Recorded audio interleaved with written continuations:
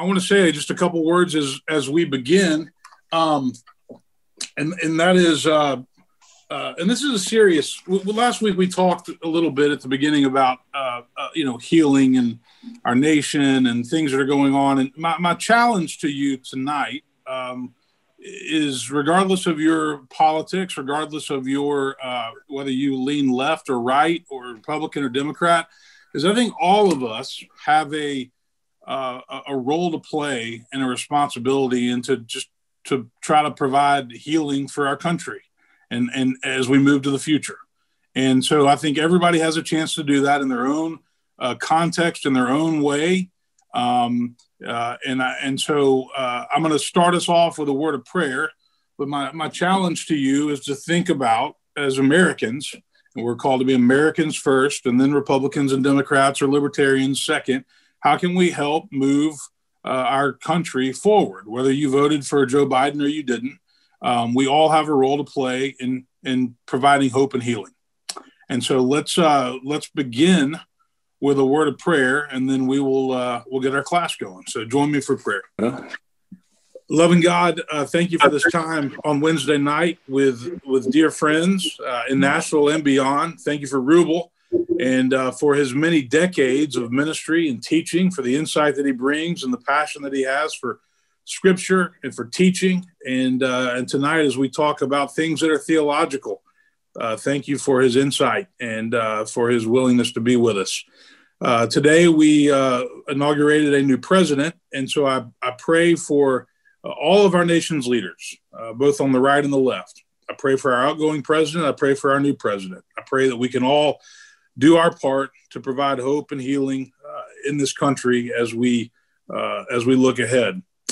grateful for uh, technology that brings us together in a time when we have had to remain socially distant and apart uh, a very long period of time. Pray for all those who are battling COVID, those that have lost loved ones to it, and those that are lonely and missing their loved ones um, because of it. Be with us tonight. Be present during this time. All this we pray in Christ's name. Amen. So the, uh, the, the title of this class is Christianity uh, uh, post Corona, and we've been kind of talking about what is uh, Christianity going to look like whenever we get out of this period, this COVID period, and we don't know exactly when that'll be. We assume that it will be gradual, uh, stair stepped, as more and more people are able to get their vaccines, and it's good to see that a number of people on uh, on this call have already had their first vaccine. Hope many more of you will soon. Um, but we're, we're thinking about how uh, COVID 19 coronavirus has impacted Christianity, church life, not just temporarily, uh, but also for good. And so, what we said last week is that tonight we want to uh, come back and, and, and talk about this from a theological uh, point of view and ask some of the difficult questions uh, that come up during a time like this, like where is God in a pandemic? And why can't God stop the pandemic? And how is God acting and moving during the pandemic? And so uh, Rubel and I've talked, and I want to share um, a passage from John's Gospel. It's actually the same uh, text that I shared a couple of Sundays ago with uh, with Tolu uh, when we were when I was talking to Tolu. So this is John uh, chapter nine, uh, beginning with verse 1. As he walked along, he saw a blind man from birth, and his disciples asked him, Rabbi, who sinned, this man or his parents, that he was born blind? And Jesus answered, Neither this man nor his parents sinned. He was born blind so that God's works might be revealed in him.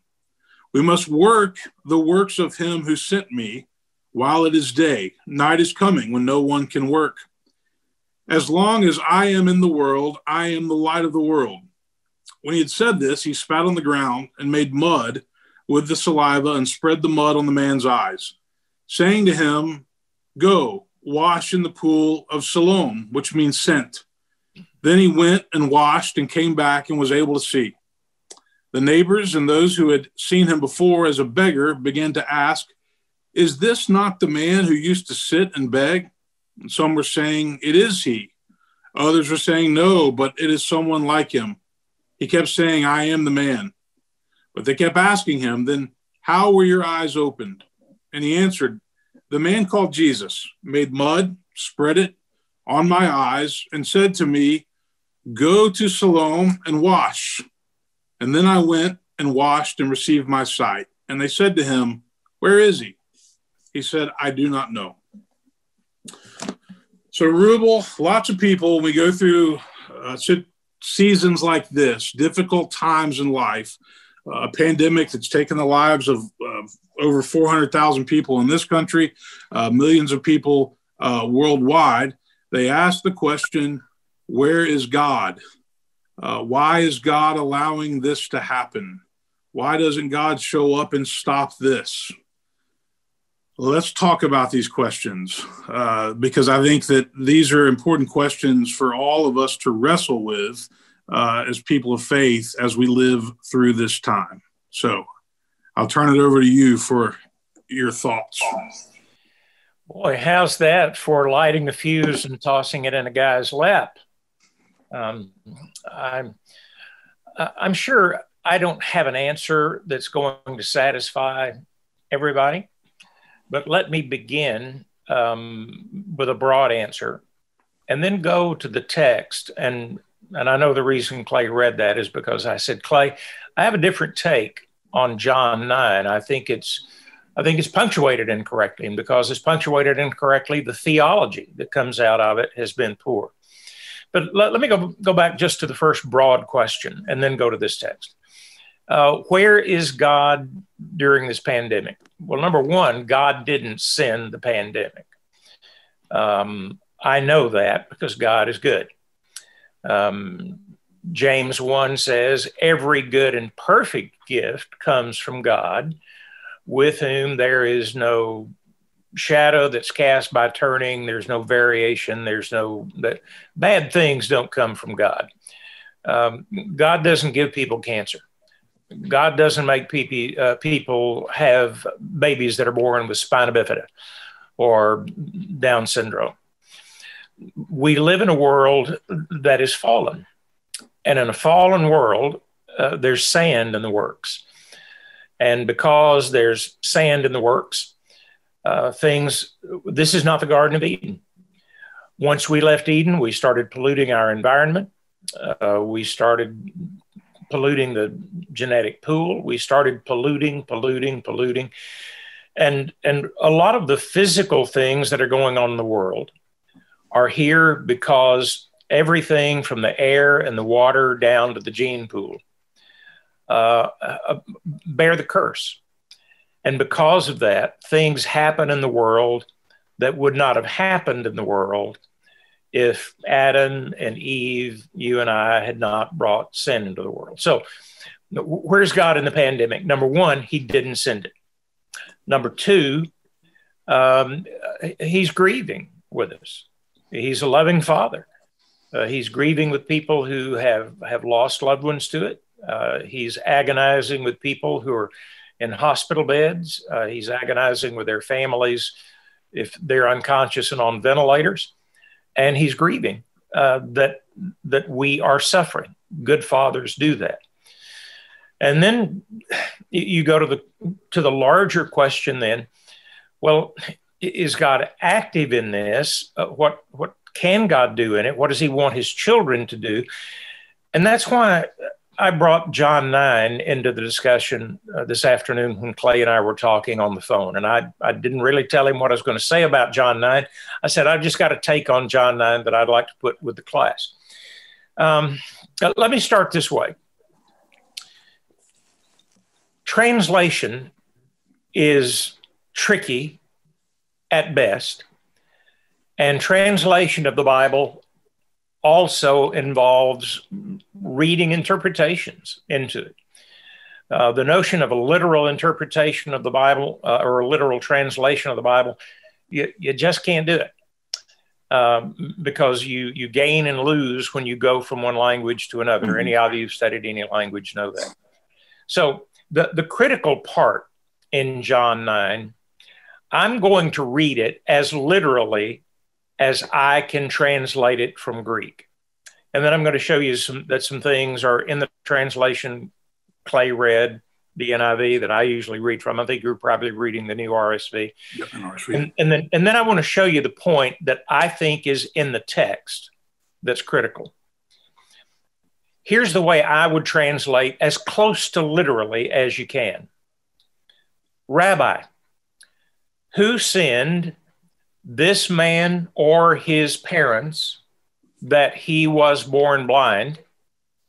Jesus answered, Neither this man nor his parents sinned, but that God's works might be known in him.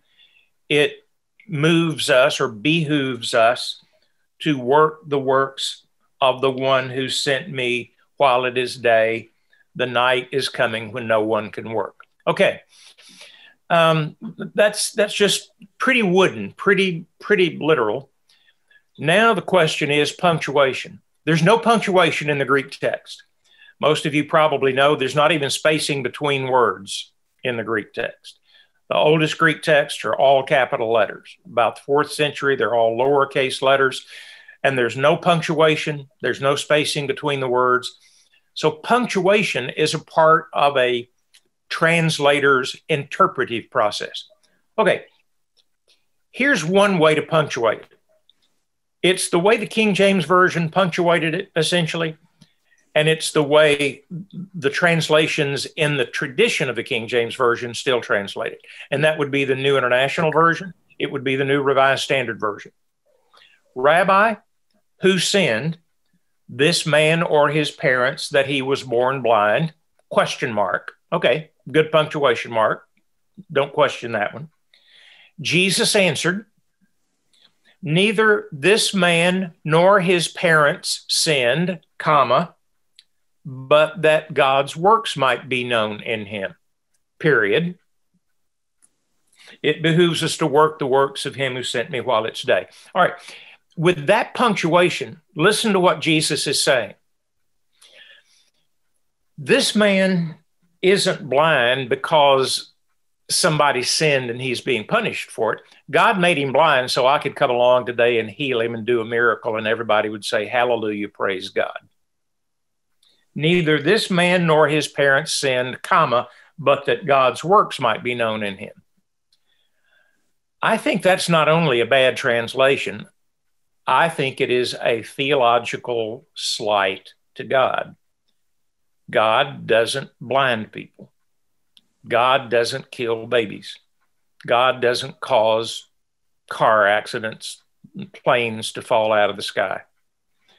I would change the punctuation in only one way. I would put a period where most translations have a comma and a comma where most of them have a period. And here's how it would read Rabbi who sinned, this man or his parents, that he was born blind? Question mark. Jesus answered, Neither this man nor his parents sinned. Period. Next sentence. But that God's works might be known in him or seen in him, comma, it behooves us to work the works of the one who sent me while it's day. Now, let me tell you why I think that's theologically important. The disciples of Jesus had the same idea that a lot of people have today. If somebody's suffering, God's getting him for something. He's being punished. So if I get the flu, if I have a heart attack, if if I die of COVID 19, I wonder what he did that God made that terrible thing happen to him. That's not the God who is revealed in the Bible and who shows himself in Jesus. He's light and darkness doesn't come from him. The question these disciples ask assume that, that, that it's karma. Who sinned, this man or his parents, that he's born blind? If somebody's blind, it's because God's getting somebody. Jesus answers flat footed. Who sinned, this man or his parents, that he's born blind? Jesus said, Quit thinking like that. Nobody said, not the man's parents, not the man. Nobody sinned that he's blind. Now then, because he is blind and we're here, let's do something to help the poor guy. I think that's the question Woodmont Christian or Rubel Shelly or John Doe, who is a believer, should ask when his neighbor gets COVID. Well, I wonder what Aunt Sue did that God gave her COVID and she died four days later. I think that's a horrible question. Mm-hmm. Um, God, God, God doesn't go out killing Aunt Sue with COVID because oh, back when she was 27 years old, she's 82 now. When she was 27 years old, she had a nasty thought, or um, uh, she cheated on her husband, or she uh, stole money uh, at the church bazaar, and so now then God gives her COVID and she dies. The book of Job is in the Bible to keep us from thinking that way. Job's friends come along and say, now, Job, nobody suffers the way you're suffering unless God's getting him for something. Why don't you fess up? Maybe he'll take it away. Well, the first chapter of Job we have that they didn't have. And the first chapter of Job says the devil didn't like the fact that Job was an upright man, and he said, I'm going to break his faith and and we, can go back and talk later. Well, why didn't God just say no, no, no? You you can't. good people never suffer, and I'm I'm not going to let them get COVID or cancer or, or lose their property. So Job is in the Bible to keep disciples from thinking the way these guys were thinking that day. They see a blind man. Here's their question: I wonder who sinned, this poor schmuck or his parents, that he's blind. And Jesus said, I wish you wouldn't talk that way. Hadn't you read the book of Job? Don't you know that's not the kind of God my father is? He doesn't make people blind. Nobody sinned that this guy is blind, period. Now, second subject. Because he is blind, people like us who have sight, maybe we can figure out something to do to make his life better uh, while it's still day. The night's coming when nobody can work. We're not going to be here much longer. I'm not going to be here much longer let's do something practical to try to help him. Now, that's not a full answer to the problem of pain and suffering, but it goes a long way down the line, to my mind anyway. Mm-hmm. Calvinism says everything that happens in the world happens because God wills it. I don't believe that. 90% of the headlines in my newspaper are about things that if I thought God was doing him uh, doing them, I'd join the other team. Um, here, here's a nurse who's killed on the way to work at St. Thomas Hospital. Mm-hmm. Uh, here is a, a kid uh, who is stolen and trafficked for sex.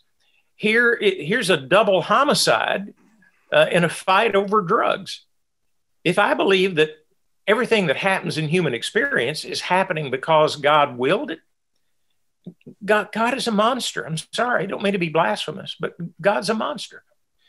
Those bad things happen because we humans have free will. We misuse our free will. We, we have introduced sin into the human environment. We've introduced uh, crime and lies and all sorts of things. And with regard to the to the person born blind or COVID, I don't think those trace directly to sin.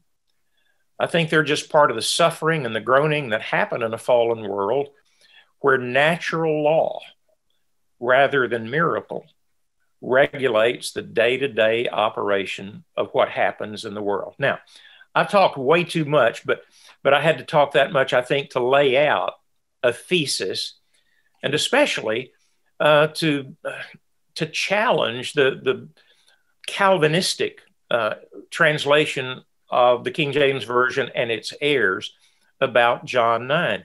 This man didn't sin, so God could set up a miracle for Jesus. That'd be awful. This man was born blind due to tragic circumstances we don't know. And when Jesus comes across a blind man, his first thought is not, I wonder who sinned, but I wonder what kindness we can show him to make his life better. I think that's the question the church ought to ask in the face of COVID not wonder why God sent it. He didn't.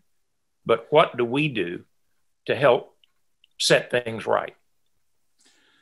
So you mentioned Calvin. And I went to a I went to a seminary where Calvin was a, big deal. So let me read this uh, this one piece from a, a theology book. Um, Calvin Calvin's doctrine of providence affirms God's governance over all events even more emphatically. Among his central aims is to oppose the idea that any event occurs by fortune, chance, or caprice. All events are governed by God's secret plan, says Calvin. nothing happens except what is knowingly and willingly decreed by God. Holding that it is insufficient to affirm a bare foreknowledge of God, Calvin declares that God governs the course of nature and history down to the smallest details. God directs everything by his incomprehensible wisdom and disposes it to his own end. Kind of a, summation of, of Calvin's yeah. position that every everything is, is preordained and, and down to the smallest. Yeah, on, on, Calvin's so, view of things, before you and I were born, God decided we'd be saved or lost. Right. And and our response to God has been dictated. We're, we're, puppets on a string or we're programmed computers. Uh, I'm convinced the Bible affirms that we're free and that we make choices and, and we believe or we disbelieve, and we're responsible for faith or unbelief because we made the choice. If, if God programmed it, I'm not responsible. Uh, anybody who goes into a court who kills somebody, and if it turns out that he's been drugged, hypnotized, and coerced by some evil genius, it's the person who set him up, not the person who pulled the trigger or plunged the knife, who's going to be judged guilty of the crime. That this makes God a criminal. So, so here's what I hear from a lot of people, and I'm I'm with you on the uh, we have free will. We're we're a part of this unfolding drama in life and our decisions matter and, and what we choose to do or not do makes a difference. A lot of people would say well it, you know clearly uh, human beings do things that where we hurt each other or we stab each other in the back or we choose the opposite of love. Um, but people seem to have a much more difficult time with um, natural disasters uh, earthquakes tsunamis uh, you know, childhood cancer, um, because they would say, well, that's not the, the, the direct result of somebody not choosing the way of love or not choosing, you know, what the way God wants us to be. Um, so they they say, uh, you know, I can I can accept that when I can say, yeah, this is because so and so sinned, they didn't do what was right. But it, but when it comes to these, uh, you know, these natural disasters, it seems a lot more difficult to come to terms with. Um, how do you how would you respond to that? Yeah, I think we have to distinguish two different kinds of what we call evil in the problem of evil, and and so far we haven't really separated them out. Moral evil, uh, I agree with you. The the misuse of our free will, that's the easier part of Calvinism to respond to if if I get blotto drunk, get in a car, drive it onto the expressway, and kill three people, I, my free will took me to the bar, got me blotto drunk, and my stupid decision under alcohol put me on the inter. That's moral evil, and and there's culpability and blame in that moral blame. Natural evil is a child being born blind, like the John 9 story. Mm-hmm. Or, um, you know, an elderly person getting up in the middle of the night and tripping on a rug and breaking a hip. That, that, that, that's not the misuse of freedom. That's an accident, uh, a, tsunami, um, uh, an earthquake. Those are natural evils. Natural evil is different from moral evil in this regard I think for the most part, they are random because we live in a world that operates under natural, what we call scientific law, natural law, illustration, gravity. Gravity works for saints and sinners. Um, gravity will make a sinner stumble and fall if he's careless and hit his head against the corner of the table have a hematoma and die. It'll do the same thing for a godly saint. The laws of nature hold for everybody. And a tsunami, for example, or an earthquake happens because heat and cooling happen in the crust of the earth and plates move. And well, sinners die when earthquakes happen and saints don't. No, those natural laws cause effects in nature that that hit all of us. Let me quote Jesus from the Sermon on the Mount. It rains on the just and the unjust, and the sun shines on good people and bad people. I think that's the, the beginning of the answer to the problem of natural evil, or, or why was this man born blind?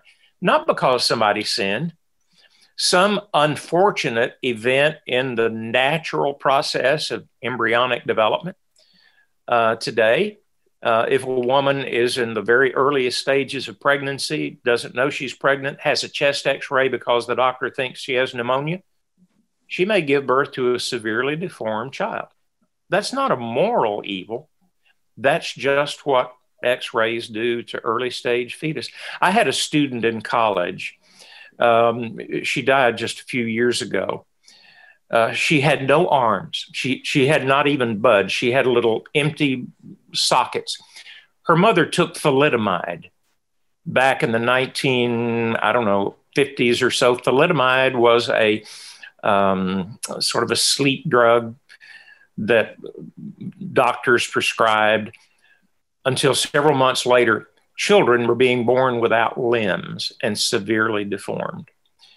Um, th- there's not a moral evil in that.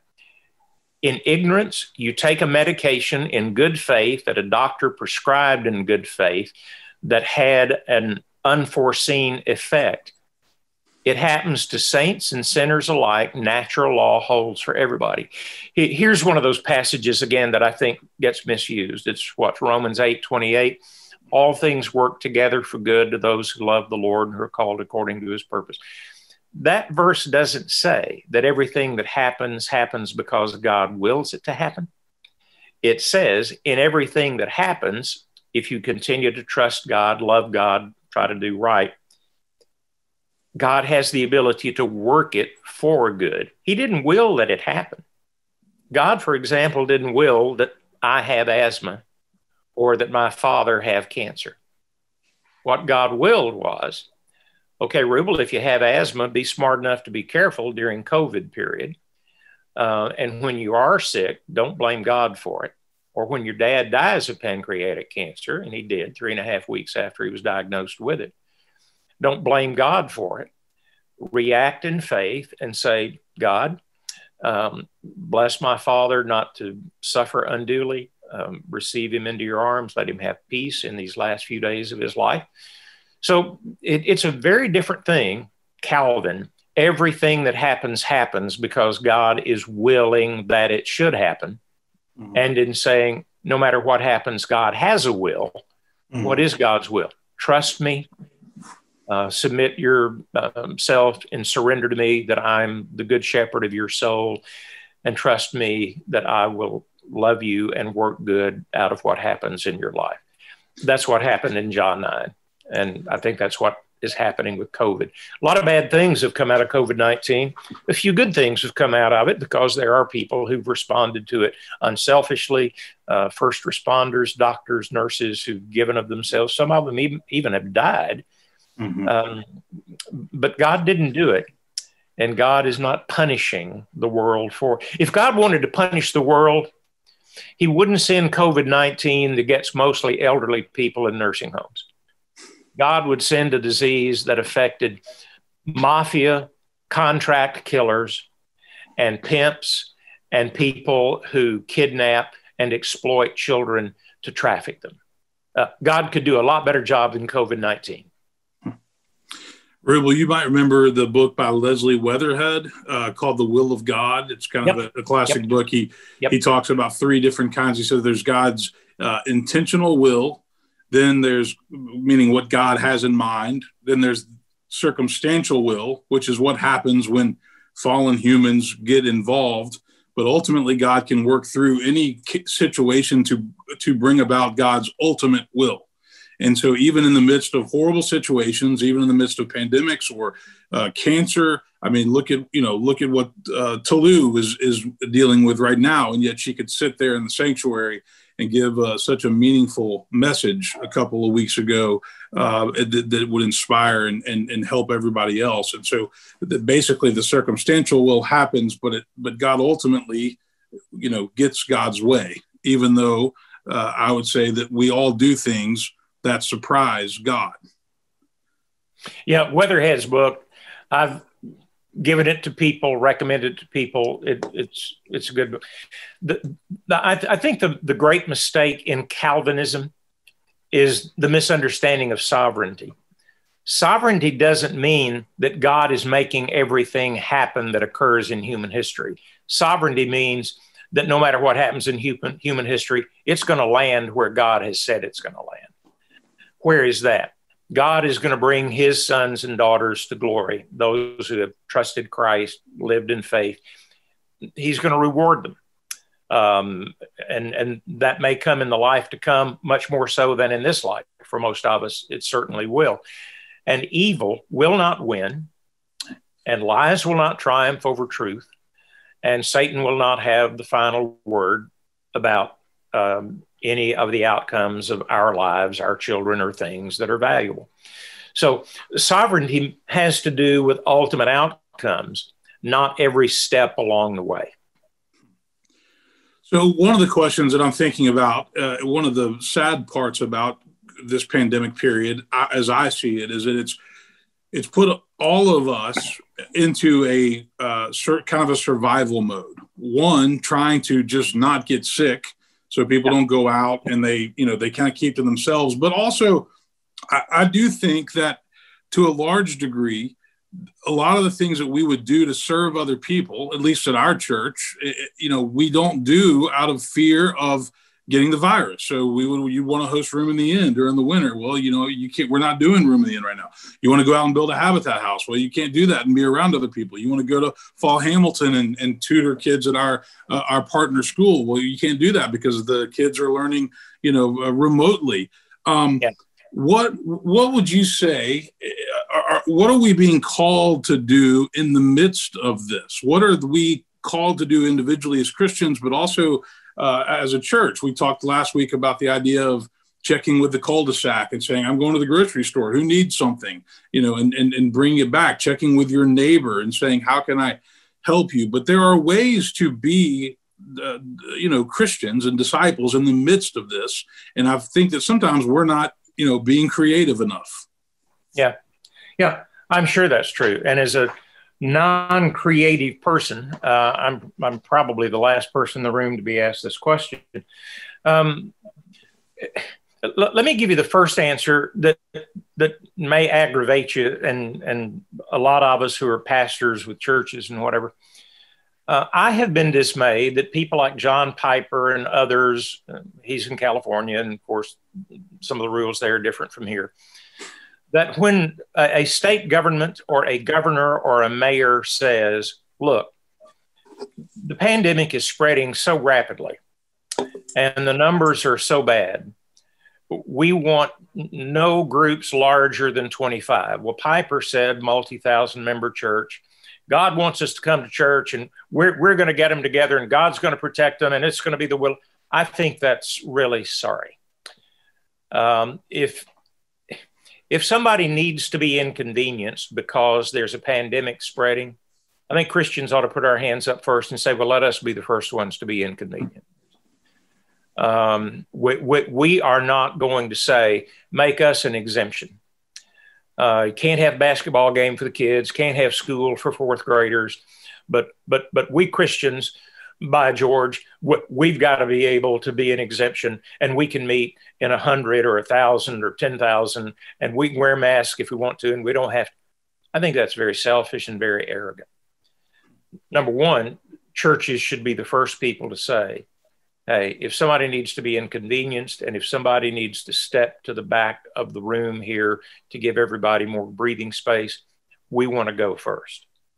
Number two, churches certainly ought to make our facilities available. You said, hey, if if they would give COVID shots in central Nashville, we'll give you space at Woodmont Christian. You know, we'll have a uh, we'll have a blood drive. We'll have a COVID vaccine station. We'll do this. We'll help fund it. We'll our members will step up. We have nurses, um, physicians that they'll do the injection certainly we ought to do things like that. So, so the first thing is the one that I think a lot of churches have made jackasses out of ourselves.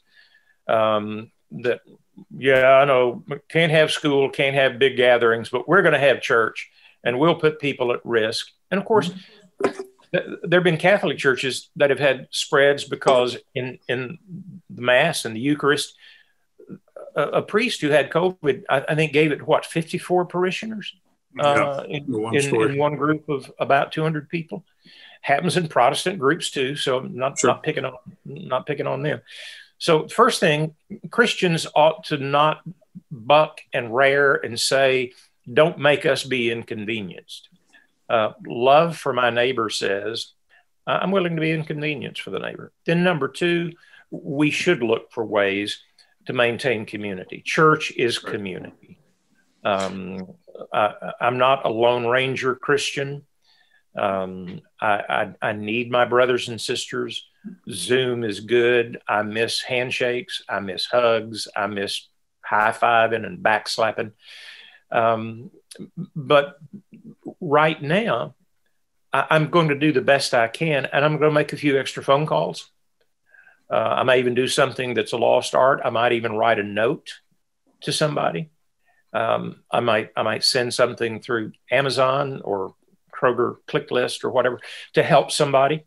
Um, and the kinds of things that we talked about last week, your missionary to your neighborhood.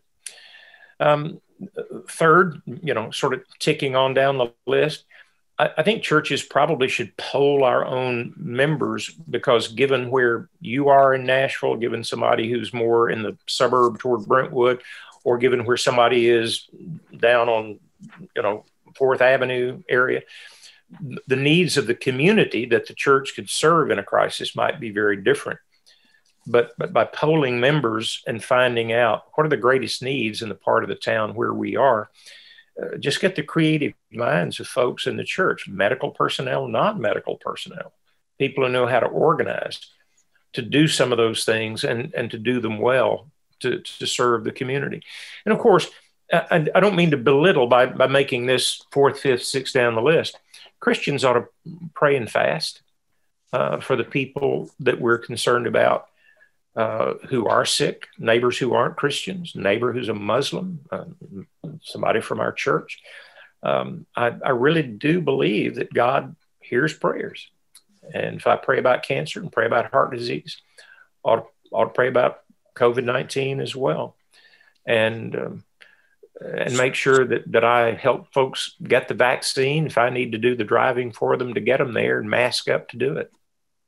So, Rubel, out of respect for our uh, our governor and our mayor, we've been we've been virtual again for about a month.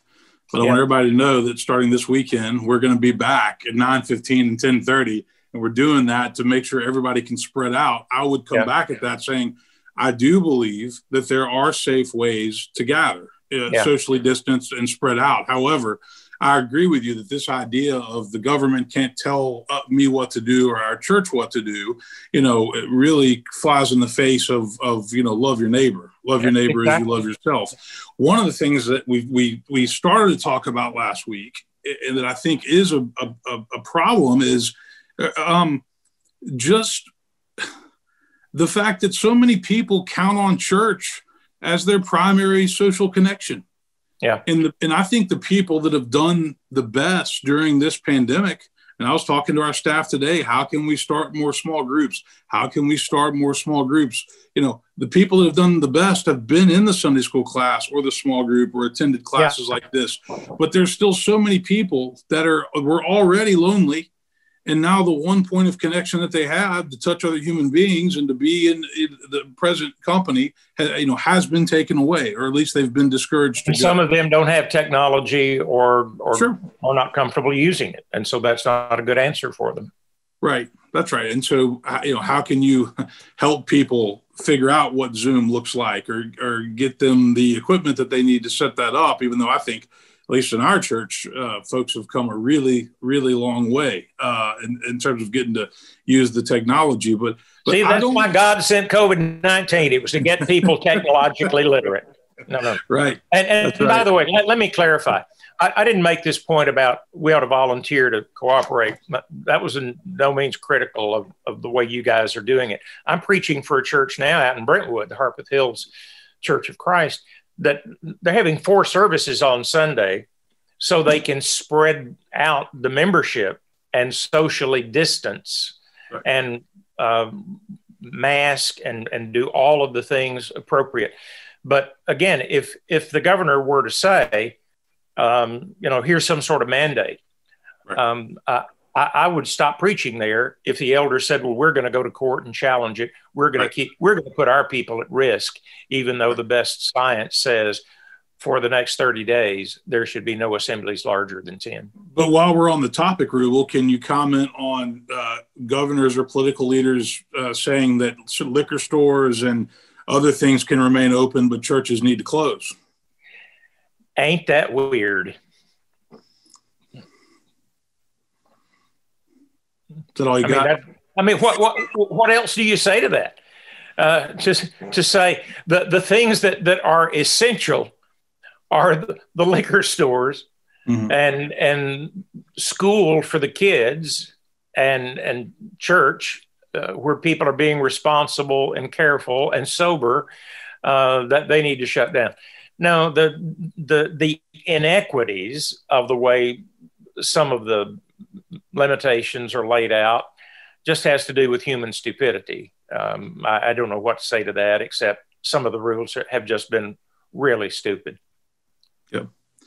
Um, w- speaking of inequities, one of the things that's really well documented uh, during this time, we, we already knew that there was a gap in our culture between the haves and the have nots. Well, one of the things that we all know is, is that COVID has exacerbated that gap right? There are people who have been able to, to get PPP money. They've been able to have money in the stock market. There's other people that haven't been able to work or get, you know, th- that is only going to make this divide or is making that divide greater in our culture.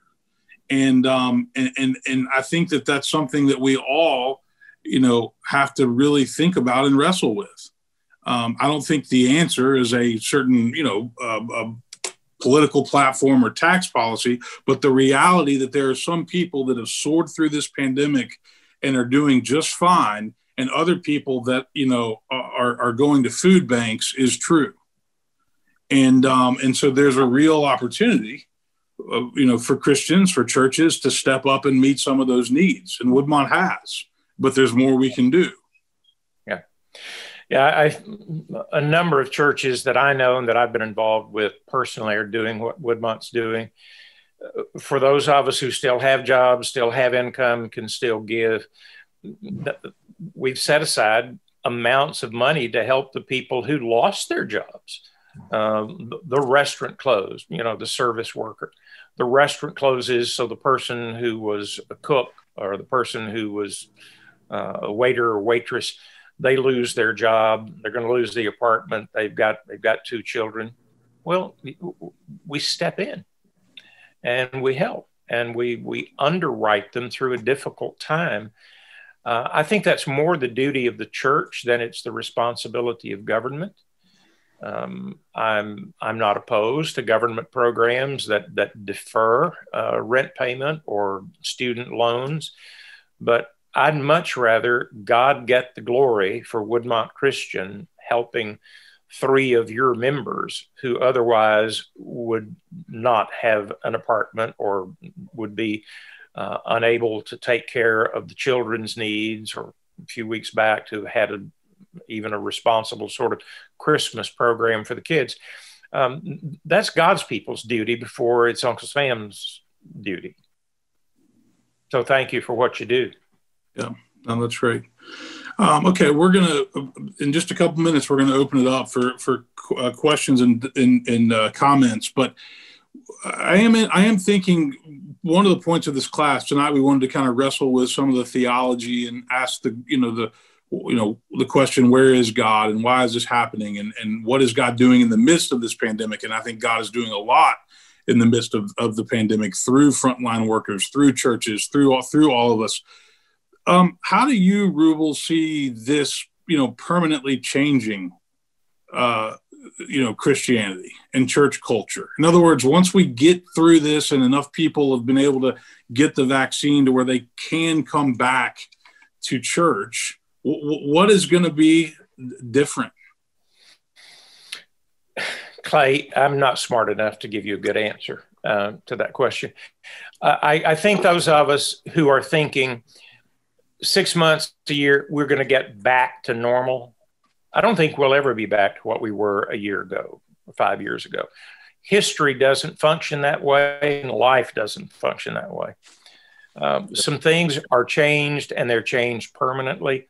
Number one, I, I think churches like Woodmont, like Harpeth Hills Church I'm working with, we've invested in technology we didn't have a year ago. We haven't learned yet how to use it terribly well. Woodmont Christian does better than Harpeth Hills.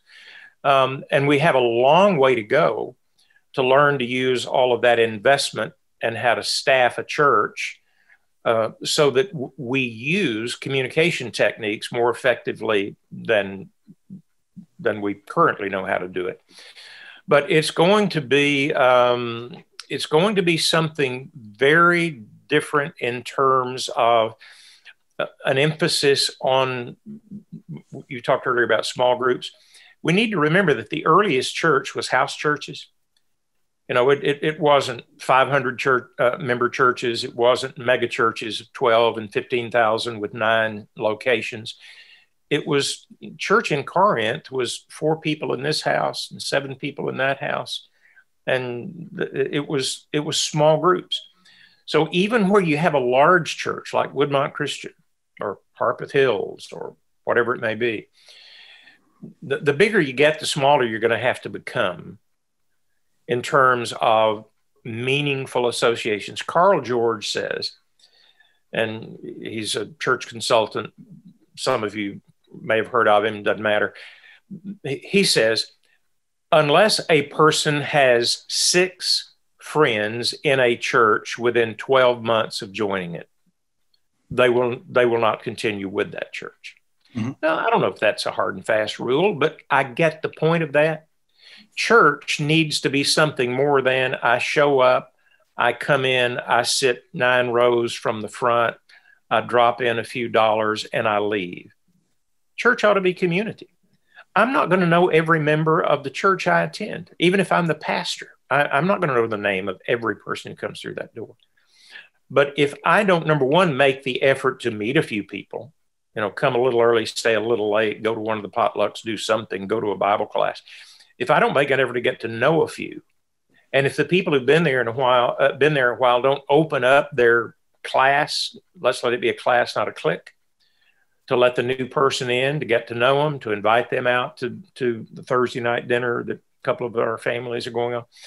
So the, the notion of small groups, formal or informal, to where people can make a handful of meaningful friends. Uh, everybody's got stuff going on in their life. Um, I've, I've, got heart disease. Uh, I've got a child who's you know dealing with addiction. I've, I've my my aunt uh, is in the nursing home. All of us have stuff. We need somebody to talk to about that, to debrief with, and somebody to care about, pray about, maybe even go visit the aunt in the nursing home and say, well, not today, but when when we get past the COVID restrictions, um, if you don't make a few friends, form a small group, Zoom, whatever. Um, the, the church is not going to serve those people, and those people are not going to connect with the church. So one of the ways that, that COVID is changing is, is to make us realize, hey, it was neat coming together on Sunday morning, but I needed more than that anyway. I needed a few friends. Oh, Good. Keep going, Rubel. Keep going. All right. So um, th- th- that's definitely uh, going going to change. That we're the need's always been there. But I think some of us are more aware of it now. Mm-hmm. I think those of us who are pastors are going to maybe get over some of our ego issues that it's about you coming and liking my sermon. No, yep. it's about me helping you connect with one another mm-hmm. and find ways to minister uh, out of this church and through this church and be ministered to if you get into a crisis situation. Um, church is not about the center stage and who's on it, it's about all of us who are in the pews um, needing to connect with one another for the sake of representing Jesus to one another. This is the uh, newest Stauffer family member. This is Bayer. He's eight weeks old. So looks a lot like the looks a lot like the dad in the house. um, let's, try, let's around the eyes. I really, love Rubel. Next week, I'd love for us to talk uh, about fear and the role that fear uh, has played and continues to play in what is a you know the Bible tells us that we're not to live in fear. Jesus tells us to fear not, but yet how do we balance fear with being responsible? Um, yeah. But right now, I want to kind of pivot to uh, some questions. I see that Cyril uh, posted a question says, Rubel, do you have spiritual practices that help with the anxiety uh, during COVID time? So let's start with that question. Then we got some more. Yeah, Cyril, and and I, I like the idea of talking about fear next week. Um, Cyril, I'm I'm sort of a, a bookish, schoolish person. I read scripture and pray. I don't journal constantly, but during periods that I feel particular stress, I journal. I go to Staples and I buy me a composition book and I write a page a day about what I believe God is needing for me to hear that day or what I am needing to tell God. And I either feel embarrassed or shy or reluctant or confused enough that I don't know how to get it out to Him. So, the, the, the traditional spiritual disciplines of scripture and prayer, joined with journaling, writing. I, I've always believed since I was a student, at least in college, maybe high school, I can't get my head around anything that I can't reduce to writing. And Clay knows me well enough to know when I'm trying to figure something out, I'll try to write it down in a, you know, 500 to 750 words and run it by Clay or run it by Tom Edens or run it by Jason Pagel and say, does this make sense? Um, and, and can we talk about this and help me sharpen on it? So scripture, prayer, and writing are the spiritual disciplines, Cyril, that serve me well. Um, yep. What about you? What about some of the others of you in class? Any other thoughts on spiritual disciplines or practices that you found very helpful during COVID?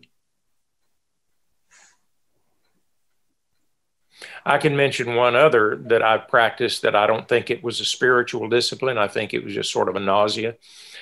Um, you know, fasting is not always from food. I have fasted from social media mm-hmm. in, in the last year because it is so toxic and and especially during the, the, the presidency just ending, we're, we're tweeting and Facebooking and uh, whatever you said, somebody came after you that oh you must be a left winger, you must be a right winger, you must be this, you must be that. Uh, I I didn't just fast from it. I cut off from it completely um, because it it was unhealthy for me to yeah. to be subjected to it. Yeah, I still make the case that the downside of social media uh, outweighs the upside. There is an upside. Yeah. It does yeah. connect us. Yeah, the downside of social media is the antisocial folks who yeah, no, that's right. See that as, as, a way to vent their anger. Yeah, Cyril said prayer walks. Yeah, I, I find you know walking, exercising, people getting outside in their neighborhoods you know, uh, the, the, you know, getting the blood flowing, uh, especially when the weather's nicer, uh, that makes a big difference when you're, when you're cooped up inside and when you're not going out to your usual uh, places to begin with. Um, okay. Uh, Roy, you had a question, I think. I wanted to go back to the where we started with the theological discussion on, on uh, the man born blind and I first want to say that I'm, I'm glad that Rubel's been hanging out with me enough now he answered that uh, uh, Calvinism versus free will just as he knows I would answer it. And I, I agree with that. But the question that I want to ask, a little different thought, is what does it say about us or about anybody who looks at COVID or any tragedy or crisis that happens and, and they say, you know, why did God let this happen? Or where is God? And why doesn't God stop this? Versus people that would say, Isn't that marvelous the way God is in those frontline workers? Isn't that marvelous the way God is acting in the midst of this? What does it say about us and the way we react to these crises? Yeah, or or maybe uh, another way of reacting is the way Jesus reacted. We're asking the wrong questions, try to figure out where'd it come from? You know, if the scientist or somebody needs to figure that out, or or the detective, it's a criminal thing. My question is, is there anything that I could do right now to help? If the person is a victim, uh, can I use my tie to create a tourniquet, or can I use my car to get them to the hospital because there doesn't seem to be an ambulance available, or can I give some money uh, to this family that their house is burned to make sure they have hotel room for the next three nights. I can't put them up forever, but I've, I've got enough points in my Hilton travel uh, account.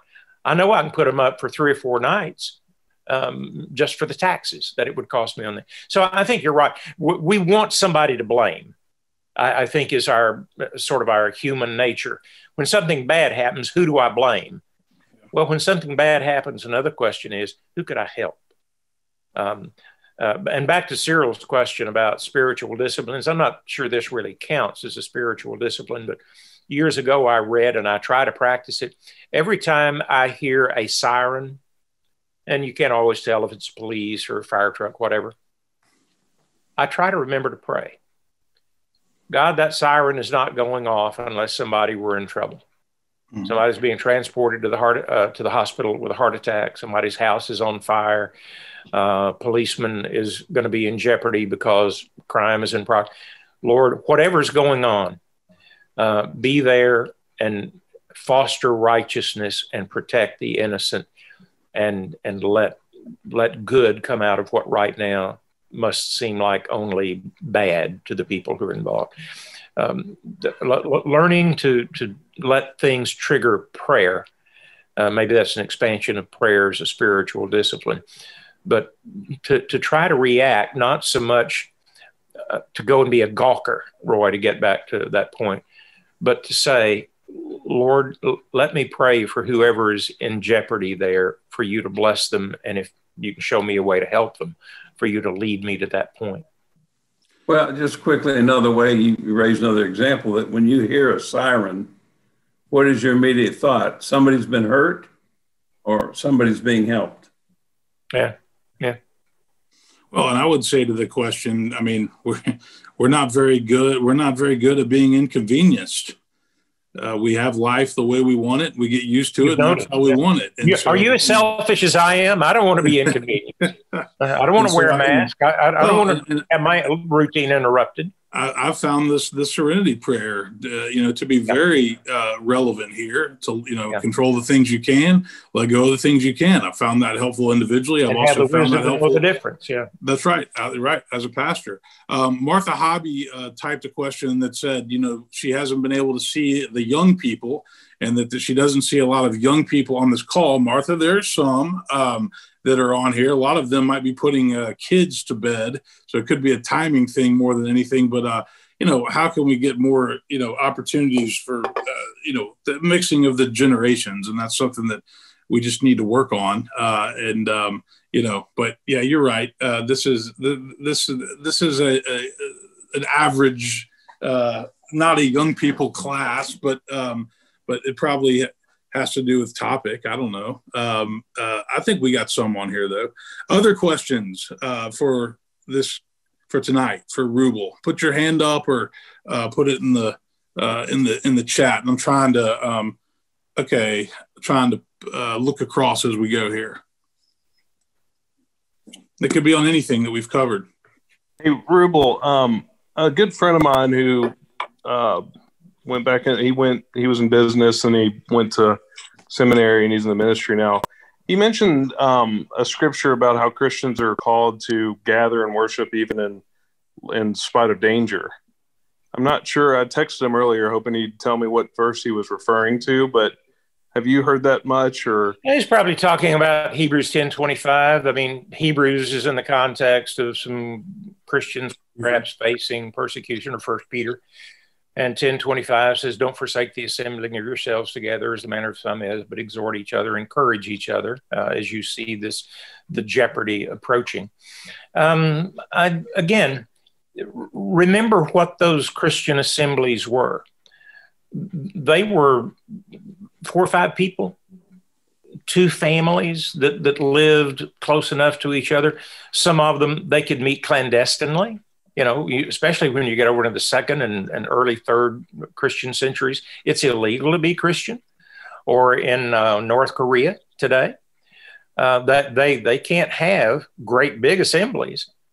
They have to have surreptitious private. So, yeah, I, I would say those scriptures are misapplied when I use them to say, I've got a 3,000 member church here, and I'm not going to change our routines, and the kids are going to go to class, and we don't have to wear masks. And those are your secular rules, and God's going to take care of us.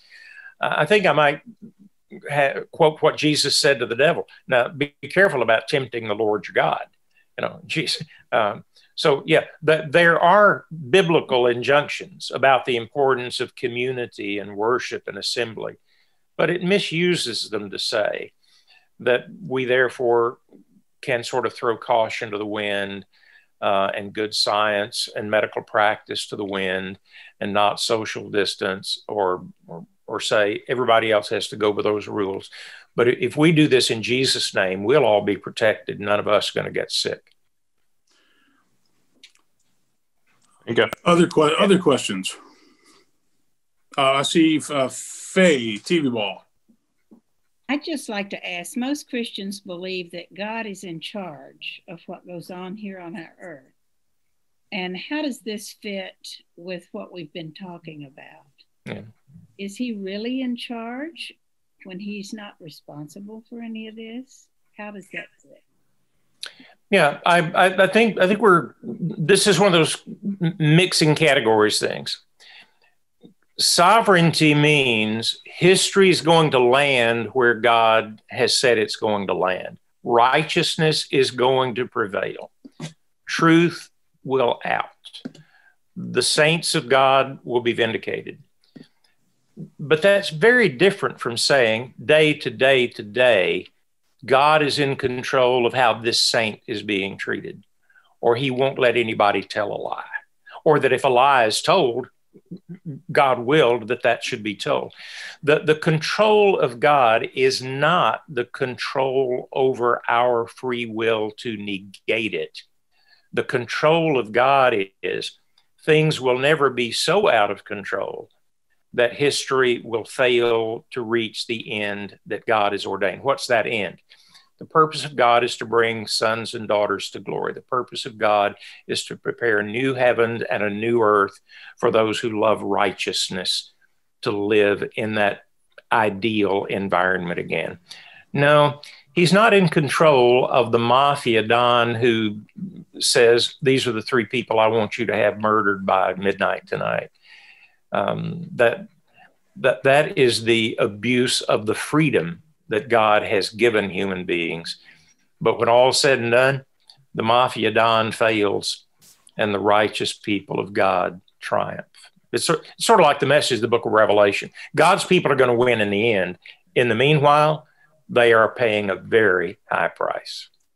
Faye, uh, something my dad shared with me years ago that I've always found is a helpful uh, metaphor on that is if you love your children, if you're a parent, and you love your children, it doesn't mean that you lock your children up and don't let them live their life. You know, you let them live their life. And with that, that brings risk, and they're going to do things that will surprise you and things that you may not have predicted. But control is not love. And if we believe in a loving God, then that doesn't mean that God controls. You know, we, we have a role to play in this unfolding drama, but uh, yeah, eschatologically, it's going to be okay. Uh, it's going to all land where it's supposed to land. But that, you know, I've always asked the question, you know, do we do things that surprise God? I would say yes, uh, but we're allowed to do them. I've found that. I would even a, go further. Do we th- do things that God doesn't want us to do? Yeah. Yes. And that are against his will? Yeah. Yes. It's all sin. Right. And, and, it, if these things were being done because God willed them, they would not be sin. Uh, it would be the inevitable outcome of what God has caused me to do. So, yeah, I mean, you, your question is so good and so on point. We use language like, well, God's in charge. Well, of outcomes, yes, but not of process because we humans keep throwing munch- monkey wrenches into the process. Mm. And it's it, is a matter of well w- sayings like this one. Everything happens for a purpose. No, it doesn't. The word accident is in the dictionary because some things are just freaky accidents. Uh, not everything that happens is purposeful, but in everything that happens, uh, I can find a purpose, and that is to try to honor God in this freaky thing that happens. Uh, a tie rod breaks on my car, and my car throws me, and it, I, I break an arm. I'm not going to blame God for that. Car accidents happen, tires blow out in curves. But I do believe in that event, the will of God is that I react appropriately, not blame God, not try to sue an innocent person who happened to be going by at the time. And I hit their fender, but I get me a unscrupulous lawyer that sues him for half a million dollars. Um, a lot of things that ha- most things I would argue that happen in the world are like Jesus says, it rains on the just and the unjust, sun shines on good people and bad people. Most things that happen are random, but even in the random things, the will of God is that I continue to trust Him, do what's right as His disciple, love my neighbor as I love myself, and put God first. And then in the end, God will show that He's in control and it will end where it should. And if I die a martyr, as lots of folks have, I probably won't. Um, it's okay. At the end, it lands where God wants it to land. That person is raised and given a, a table or given a seat at the table of God uh, in the banquet hall of eternity. That's just not a bad fate. All right, I see uh, Ann Cooper has her hand up. One thing, and I've thought it all through my life, but especially the last year when all these churches were, oh, we're going to have these services. God gave us brains. Use them. Well, to use them, don't you think? and yeah. I mean, He obviously gave the healthcare workers and the nurses, the first responders the talents to help us don't make their jobs any more difficult than they Absolutely. have to be. Yep. That's I'm with you. Point. Yeah. Yeah. Um, let me see. I'm looking through other other questions for tonight. Um, Rubel, I have a question that I'd love that, that I'd love. And then I want to close with on. one final text after. Okay. All right. Good. So this, this is a, um, is it offensive to call it the China virus? And that's not a that's not a politically loaded question. I just uh, there's a lot of discussion about that. What, what, why, you know, see people say it was the Spanish flu. It was the, you know, is it or is it offensive? It wasn't Spanish, yeah, in terms of Georgia. No, I, I, I call it COVID 19. I have never used that term of it. Mm-hmm. The fact that a given disease is first isolated in Russia or China or Kansas does not mean that that is the source of or somebody in that place had a sinister intent. Why do that? Um, there are enough sort of supercharged ways of referring to other people or um, using ethnic, cultural, prejudicial terms. Call it what it is. It's COVID 19. Um, it's coronavirus identified in 2019, COVID 19 for shorthand. Um, call it by its scientific name and let it go with that. Okay. Um, so I'll let you close this out. We'll have one more week. Uh, next week, we're going to talk about fear, the role that fear is playing, yeah. how we overcome it, anxiety, and then. Uh, yeah, next week I get to ask the questions and you have to be the one to sit there and answer. Okay. It's more fun this way. More fun this no, way. All right. All right, close us out, Rubel. Here's the text now, on this larger issue of look, problem of evil, we live, we, we say we worship a good and loving God. We live in a world we say He created, and and why all the mess in the world? I sometimes take young people to this text to answer that question. It's Matthew 13 where Jesus gives the parable of the wheat and the weeds. And I won't read the parable, I'll just go down to the interpretation of it. This begins at 37. Jesus said, The person who sowed good seed is the Son of Man, and the field is the world, and the good seed stands for the people of the kingdom, and the weeds are the people of the evil one. And the enemy who sows them is the devil, and the harvest is the end of the age, and the harvesters are the angels. Now, his story was this a good man prepared a good field and sowed good seed. And when it began to grow, his servants came and said, There are weeds growing in your wheat. Uh, in your wheat. What in the world is going on? Well, that seems to me has been our question tonight. A good God who creates a good world and puts people in it in its own in his own image. You'd expect it to run better than this one is running. But weeds pop up. Yeah, they're COVID 19, there's cancer, there's crime, there's immorality. Jesus has the story going this way. The servants say, Do you want us to go out in the field and pull the weeds up? He said, No, don't do that because if you pull up weeds, you're going to uproot the wheat and it'll all die. You just have to let it grow together until the end and then we'll separate it. The owner's servant came and said, Sir, didn't you sow good seed in your field? Where did the weeds come from? The master replied, An enemy did this. Well, in the interpretation of the parable, Jesus said, The enemy is Satan. The enemy is the devil. The enemy is the liar and the deceiver. So there is a good God who created a good world and put men and women in it who are in his own image and likeness. But God has this enemy who lies, deceives, and tries to undo God's work, who has sowed all these other things out here that causes our heartache and our grief. So, unlike these servants, we don't say, Hey, master of the field, why did you sow weeds in it? God didn't sow the weeds. He has an enemy. Every untruth, every lie, every evil intent, everything that comes from the evil one. Um, and I want to give him the blame rather than God for the fact that there are a lot of things that happen in this world that cause us grief. I can take those to God and ask for comfort, but I don't want to go to God and blame him for it. All right. Um, will you close us in prayer? Next week will be our last uh, class on this series. And then two weeks from tonight, uh, Dr. David Kidd, who was the pastor at uh, uh, uh, Hillsboro Pres for many years, is going to lead a two week class. Roy, is that correct?